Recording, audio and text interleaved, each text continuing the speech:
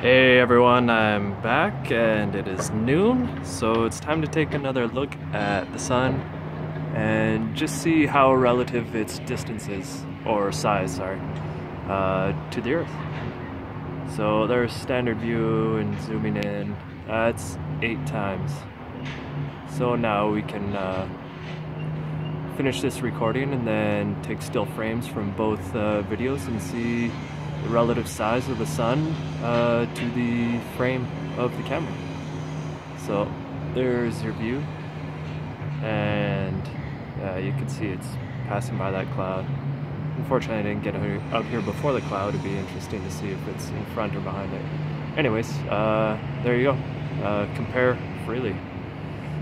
Take a take a screenshot of this video and of the part one and you can do your own comparisons and I'll certainly do mine. Uh, have a good day. God bless.